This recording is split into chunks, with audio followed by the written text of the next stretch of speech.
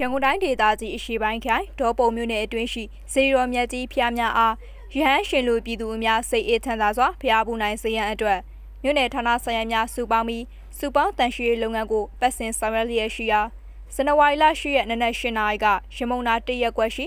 မင်္ဂလာရာမကျောင်း၌ပြည်လုံးချမ်းသာစုတောင်းမြစ်များစေတီတို့အမြက်ကြီးတွင်စုပေါင်းတန်ရှိရေးများဆောင်ရွက်ကြောင်းသိရပါဗျ။အဆိုပါစုပေါင်းတန်ရှိရေးဆောင်ရွက်ရသို့မြို့နယ်စီမံအုပ်ချုပ်ရေးအဖွဲ့ဥက္ကဋ္ဌဦးဆောင်ကြီးကြပ်ပြီး မြို့နယ်အထွေထွေအုပ်ချုပ်ရေးဦးစီးဌာနဝန်ထမ်းများမြို့နယ်ရဲတပ်ဖွဲ့မှရဲတပ်ဖွဲ့ဝင်များ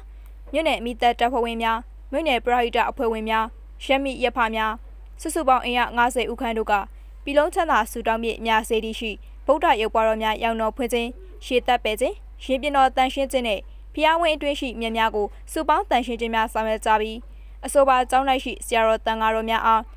စန်စီစာစားရလှူဝဲပစ္စည်းများစက်ကလှူရမ်းကြောင်းသိရပါတယ်ဒီသတင်းကိုတော့ရင်မော်ကပေးပို့ထားတာဖြစ်ပါရဲ့ရှင်